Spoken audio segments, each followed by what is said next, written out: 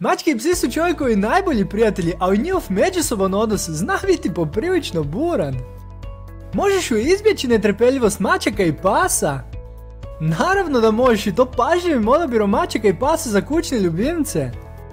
Prije nego krenemo s uistom, zamolio bih te da podijeliš ovaj video na svojem Facebook profilu, pomoću tipkice podijeli ispod videa kako bi i tvoji prijatelji i prijateljice vidjeli koju mačku odabrati ako žele idealnu prijateljicu za svog psa.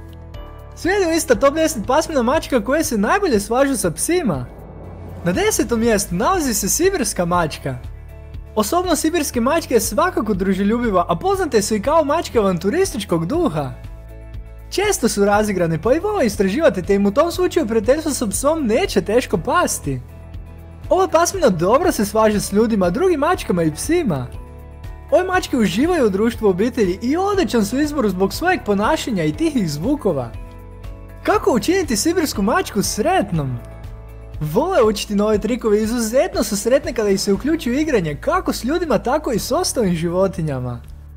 Zanimljive činjenice koje možda i niste znali, o sibirskim se mačkama često priča kako imaju osobnost više sličnu psu nego mačkama. Sibirske mačke vrlo su poznate po svojoj osjetljivosti i sibirske mačke obožavaju vodu. Na devetom mjestu liste nalazi se Tonkinška mačka. Aktivna i razigrana Tonkinška mačka ima snažnu želju provoditi vrijeme sa svojim ljudima i uključiti se u sve što rade. Svojim prijateljskim, otvorenim stavom može biti dobar izbor za obitelj s djecom, druge mačke, pa čak i pse koji su otvoreni za ovakvu prijateljicu. Odlična je mačka za svaki dom s ljudima koji su spremni pružiti joj ljubav, pažnju i igru kako priželjkuje. Kako je razveseliti ako radite po cijele dane? Ako radite po cijele dane, dobra je ideja osigurati joj prijatelja, bilo drugu mačku ili psa. Ako ima nekoga na kog se može osloniti i tko će joj praviti društvo čak i kada vi niste dostupni, bit će vam vrlo zahvalna. Postoje li problemi s tonkinškom mačkom? Problemi? To je nepoznat pojam. Igra se baš poput retrievera, lako uči trikove i voli pažnju koju dobiva od djece, koja se prema njoj odnosi pristojno i s poštovanjem. Mirno živi s mačkama i psima koji poštuju njezin autoritet. Na osmom mjestu se nalazi se norveška šumska mačka. Norveške šumske mačke su razigrane i vole upijati sve što se događa oko njih. Ova vrsta mačke smatra se jednom od miljenica psa s obzirom na to da se ponekad bolje slažu s njima nego s ostalim mačkama. Je li ova mačka prava za mene? Ova je mačka odličan izbor za ljude koji imaju dovoljno vremena. Norveškoj šumskoj mački potrebno je mnogo više vremena da sazrete, ćete iz tog razloga dulje vremena trebati provoditi sa malenim mačićem nego kada biste imali mačku druge pasmine. Ove mačke također vole biti okupirane i izazvane različitim igrama. Boje li se visina?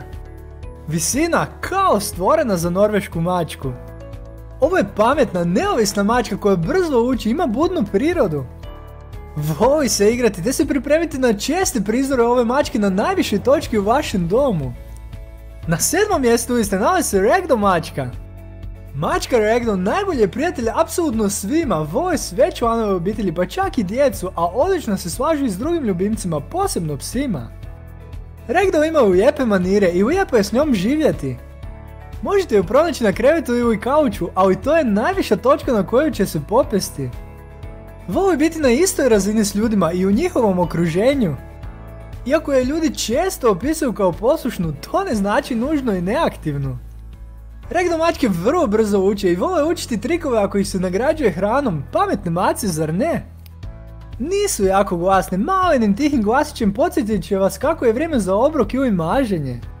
Sretna ako živi u društvu drugih mačaka ili pasa zahvaljujući svoje društvenoj osobnosti. Ako još uvijek nisi podijelio video s prijateljicama i prijateljima na Facebooku, nadam se da hoćeš, ali ako ti se video sviđa, pozvam te da se pretplatiš na kanal i postaneš novi ljubitelj životinja. Na šestom mjestu se nalazi se Maine Coon mačka. Ove dobrodušne i simpatične mačke prilagođavaju se mnogim osobnostima. Vrlo su sretne kada dobivaju pozornost ljudi, međutim ako i nemate mnogo vremena, njima je dovoljno da budu u vašoj blizini, slatko zar ne? Maine Coon mačke su prekrasne životinje i nose titulu psa mačeg svijeta. Zato i nije neobično da se psi s Maine Coonima slažu i više nego odlično. Na petom mjestu se nalazi se japanska bobtail mačka. Karakteristika japanske bobtail mačke je svakako kratak zveći rep koji može biti fleksibilan ili krut s jednom ili više zavoja i nabora. S njome nikad nije dosadno. Iako ova mačka nije toliko poznata, vrlo je pametna i razigrana. Odlična je u učenju trikova, ali i prava maza ako sjedite i očekujete u svom kriju. Jedna stvar koja će vas svakako zadiviti kod japanskog bobtaila je impresivan mači vokabular. Nije nikako glasna, ali svakako ima mnogo za reći te raspon tonova kako to učiniti. Kako podnosi djecu, pse i ostale životinje. Osim za život s drugim životinjama, ova je mačka odličan izbor i za obitelji s djecom s obzirom na to da dijeli nivo energije. U svakom slučaju, s japanskim bobtailom život je vrlo zanimljiv i dinamičan. Na četvrtom mjestu liste nalazi se bombajska mačka. Bombajske mačke obožavaju zabavu, razigrane su i nježne. Vrlo su omiljene kod obitelji jer su oni vrlo tolerantni prema maloj djeci. Također su dobre u društvu pasa i drugih mačaka. Može se reći da im je moto ljubaznost iznad svega. Zahtijeva li ova mačka puno pažnje? Te su mačke toliko ljubazne da ih čak ni stranci ili novi ljudi neće prepoštiti. Međutim, budući da su tako prijateljski raspoložene, potrebno im je puno pažnje. Ovo je pametna mačka koja se voli igrati na predovaće s obitelji koja je spremna naučiti je trikove, igrati igrice i pružiti joj obilje interaktivnih igračaka. Upravo zbog svog društvenog stava vole biti u društvu životinja, a posebno drugih psa, svatko slažiš li se? Slijede top 3 pasmine mačka koje se najbolje svađu sa psima, pa krenimo! Na trećem mjestu liste pasmine mačka koje se najbolje svađu sa psima nalazi se pasmina Sveta Birma. Sveta Birma je pametna i znatiželjna mačka koja voli biti oko ljudi, prilagodljiva je bilo koje vrsti životinskog okruženja, aktivna je samo kad se tako osjeća. Dobro se svađa s djecom, psima i drugim kućnim ljubimcima. Zapravo oni preferiraju društvo drugih životinja. Iako je Sveta Birma prekrasna, vjerovao ili ne, čak i njezino održavanje zahtjeva vrlo malo posla. Tiha je mačka, ali ne stidljiva. U stvari, unatoč svojoj nježnoj prirodi, Birma je poznata po ljubavi prema igri. Ne samo da će uživati u igri sa svojom ljudskom obitelji, već će i trčati zajedno s psima. Na drugom mjestu pasmina mačka koja se najbolje svađa sa psima nalazi se pasmina američka kratkodoka mačka. Američke kratkodovake mačke su zaista popularne u obiteljima jer se odlično snalaze s djecom. I dok su one mirne mace također nježno su razigrane čak i kad su starije. Neke od njih su mačke koje vole biti u krivu, ali većini je ipak draža samostalnost i ne zahtijevaju čestu pažnju. Poput većine mačaka izuzetno su znatiželjne i inteligentne. Američka kratkodovaka mačka uživa u igri sa psima jednom kada uspostave granice. Mači društveni staložen stav je čini jednom od najboljih izbora ako ste i vlasnik psa. U prirodi im je ljubav prema članovima obitelji koja se širi i na druge kućne ljubimce, baš poput psa. Slijede mačke koje se najbolje svažu sa psima, spremni! Mačke koje se najbolje svažu sa psima su obesinske mačke. Mogu smo reći kako obesinske mačke žive svoj život na najjače. Zašto? Ove mačke visoko se penju, skaču daleko i obožavaju igranje. Dakle, ako razmišljate da baš ona postane novi član vaše obitelji, svakako je potrebno nabaviti mnoštvo igračaka kako bi je se zadržalo okupiranom. Vrlo je društvena mačka koja se odlično svaže s bilo kojom vrstom. Vrlo je aktivna i razigrana te može činiti zabavnu interakciju s ljudima, ali i psima. Što ako nemam toliko vremena za igru?